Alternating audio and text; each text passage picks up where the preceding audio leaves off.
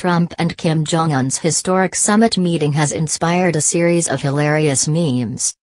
The internet has reacted as expected.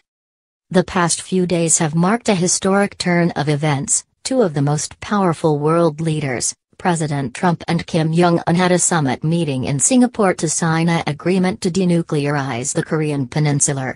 Whilst Kim Jong un has committed to this, Trump has promised to keep his side of the bargain by guaranteeing security to North Korea. Earlier this year, Trump had threatened nuclear war against North Korea on Twitter. Now, he has become the first president to sit down with a leader of North Korea. Talk about a turnaround. Of course, people have leapt on the chance to immortalize this momentous occasion with memes. As you can imagine, they haven't held back.